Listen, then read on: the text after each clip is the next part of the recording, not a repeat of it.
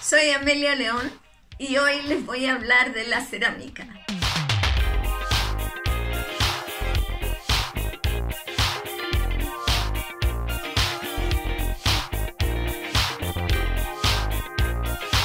Esta palabra viene del griego keramik, que significa sustancia quemada.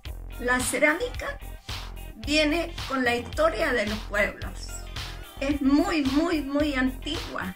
Se han encontrado piezas en Mesopotamia, en Japón, en China, etc. No sabemos realmente dónde la inventaron.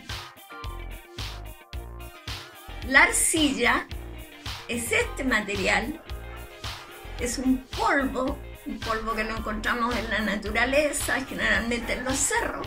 Se mezcla con agua y se convierte en esta masa blanda y muy fácil de trabajar.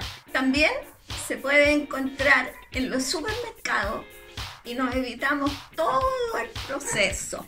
Se trabaja principalmente con la mano y a veces tenemos estas herramientas que se llaman estecas para ayudarnos.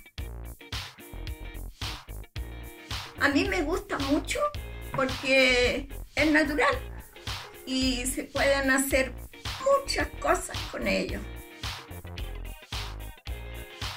La podemos dividir en utilitaria, donde están las tazas, están los platos, están los pocillos, eh, los floreros, las ánforas decorativas donde podemos hacer todas estas cosas ustedes ven acá. Esto, por ejemplo, yo lo, lo inventé.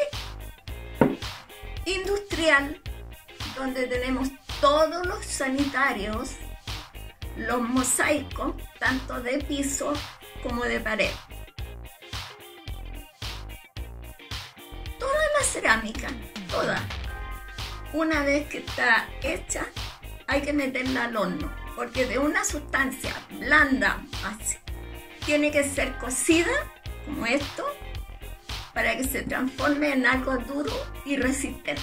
Este es un trabajo terminado. Este le falta horno. Este está modelado solamente, falta la eh, decoración y después coserlo. Y cuando a uno no le gusta algo que hizo, lo rompe, lo amasa y hace otra cosa.